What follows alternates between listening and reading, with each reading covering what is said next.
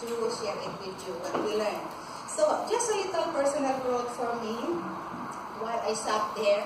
I remember the time when we went on vacation in 2006 in the mainland. One of the things that I remember was we were in Louisiana and I liked the, the, the new places and I said, to Hank, I, I need to, to walk around. But Hank reminded us that evening, tomorrow early in the morning, we need to leave so early because we need to fill up our tank for the water and things like that, empty all those things. And, and But early in the morning, I said to the boys, okay, Daniel and Michael, let's take a walk. So we ended up took a walk, and then we're going up and up and up. And I thought, the, the road going up going down to where we came from. But ended up, we still going up and now, I think like now, it's hours already and we were not able to go down. So I said to the boys, okay, let's go back let's run because your dad has told us to not to walk supposed to be, but now we are taking a long time here.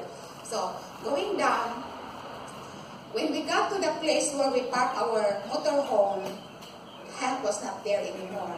So I was thinking, oh, maybe he was upset with me because I did not listen to him that night.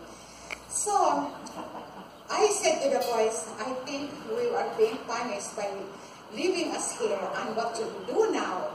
So, we walked to the place where we parked and I saw the note. Please stay here, don't go anywhere. Love Hank.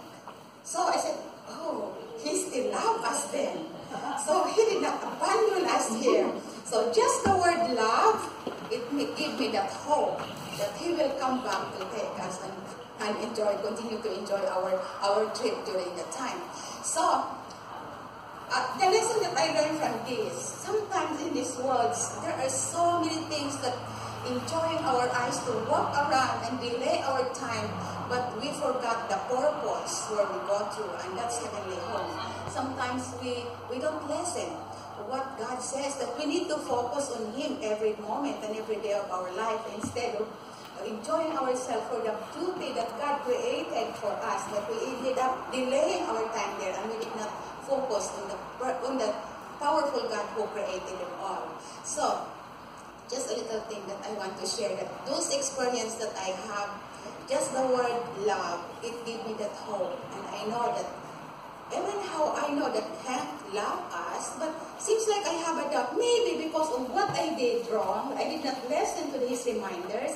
Maybe he, he's gonna leave us here, but because of that note, please stay here. Just wait here. Don't go anywhere. And love him.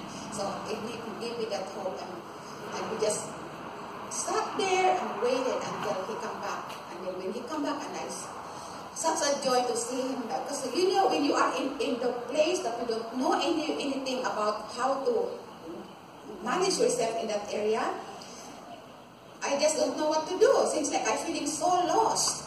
But uh, for him coming back to take us and continue our journey it was such a blessing to me. So I learned a lot of lessons. So I hope every one of us will focus on the love of God that he said.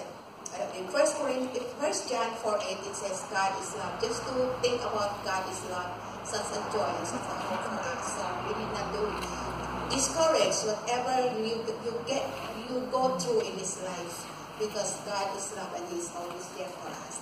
So at this time, I just want to thank all my participants here for their willingness and as we go on to our respective classes, hope that God will help us all to continue serving Him faithfully and keep the Sabbath holy. Have a nice Sabbath, everyone.